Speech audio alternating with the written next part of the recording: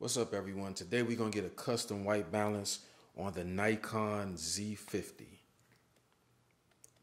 Hit your iMenu button, go into your white balance, and you want it to be on pre. Hit the pre button, hold it for a few seconds. Box comes up. I'm lining it up with my gray card. You can use a white card, white sheet of paper, works the same. Hit OK. Data acquired.